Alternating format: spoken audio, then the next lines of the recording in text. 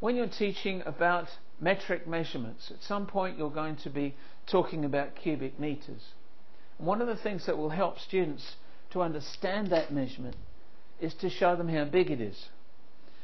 Now, in the past, I've used a one meter ruler like this and said to students, well, this is how long it is in this direction, that's the dimension in that direction, and this is how high it is, and you know, just sort of do that and say, well, that's how big a cubic meter is. But that's not really very satisfying because you don't see the whole thing all at once. And I think that a lot of students go, yeah, yeah, yeah, and they sort of mentally agree with you, but they don't really get a good, uh, good look at how big it is. So what I really like now is to use a kit to show the whole cubic meter at once. It's just made of long pieces of wood, 12 of them, and plastic corner pieces like this that connect them together, and that's the the secret to this thing. I'm standing in one now, as you can tell, and I've almost finished, so I'm just going to construct this. These just slide in here. This is a really good one. I used to have a cheaper one, but the pieces of wood ended up getting broken with people playing sword fights with them, but there we go. So let me just hold this up. There, like that. The thing I love about this, as I said, is just it shows you how big a cubic meter is. It really does. You can see the whole thing in one go. And the thing that surprises me is just how large it is. Because I think I'm, you know, it's easy to say, yeah, I know how big a cubic meter is because I've seen a one meter ruler. But the whole thing put together like this is uh, really quite impressive. One activity I've done with my students, so uh, adult students in the main who are going to be teachers, is to see how many people we can fit inside the cubic meter. And I've been surprised. You can fit six or seven or eight adults in a cubic meter. So with children, you could fit even more. So, one cubic meter. If I had the opportunity as a teacher, I would see if I could hang this up in the classroom somewhere. If you've got very high ceilings, you could do that and just leave it hanging up there, or if not, put it in the corner somewhere and let students get used to the size of it. Because I really think that most of us don't really have this very um, accurate mental picture of how big a cubic meter is. All right. So far, so good. Now, in teaching the measurement of volume or capacity, you're going to be using other measurements. The cubic meter is a quite a big unit. We have a lot of smaller ones that we use, or a couple of them anyway. And those units, of course, are millilitres and litres. Now we have some assistance here from place value blocks. And of course we use these for teaching number, and this is one of the one blocks, and this is a thousand block. Just using these two, we can do a lot of teaching about volume and capacity units.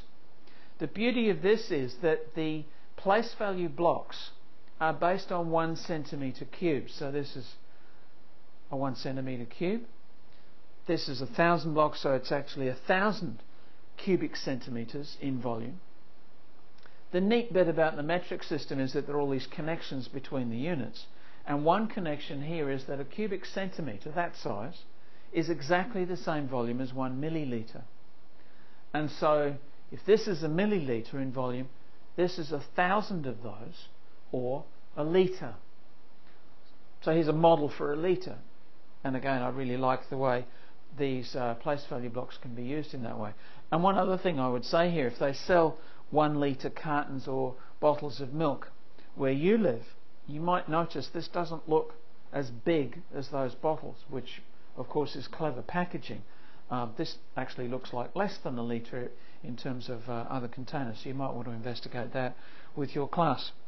So we can see that a litre is a cube in this shape. This it's a cube, and the lengths of the edges are, of course, 10 centimeters. 10 times 10 times 10 is a thousand. So this is a 10 centimeter cube. So the question arises: How many of these would fit inside this cubic meter that I'm standing in right now? Clearly, it's a lot, but exactly how many is it? It wouldn't take long for students to work out that if this is 10 centimeters on every edge, and this is one meter, which is 100 centimeters, that this cube would fit along the edge exactly 10 times. It would fit along that edge 10 times. So just using those two, we could put a layer on the bottom of this cube. And if you have enough in your classroom, you can actually do that. A layer of 1,000 cubes, or one litre cubes, as we might call them, on the bottom layer. How many would there be? Obviously, it's 100. And then how many layers could we make? The answer is 10. And so we could fill this cube, if we had enough of these blocks, with 1,000 thousand blocks or 1,000 litres. So one cubic metre has the same volume as a thousand litres. And in the metric system, we have a, a unit for a thousand litres, of course, and that's kilolitre. So with these three measurements, there's actually a nice comparison here. This block is a thousand times this little one, and the cubic metre is a thousand times this one. So if we could shrink this block down to the size of a one block, then proportionally the cubic metre would be the size of this, for what that's worth. One more thing we can do here is to connect this with mass. Again, in the metric system, there's this nice connection between volume and mass. Now, obviously, different substances have different densities, but possibly the most common substance in everyday life and so on is water. And it just so happens, in fact, of course, it's been designed that way, that a litre of water at its temperature of maximum density, which, if you're technically minded, is 4 degrees Celsius, at that temperature, one litre of water weighs one kilogram. One milliliter of water weighs one gram. So here we would, if we could make this out of water in some way, this would be a gram of water, this would be a kilogram of water. What would the mass of this amount of water be?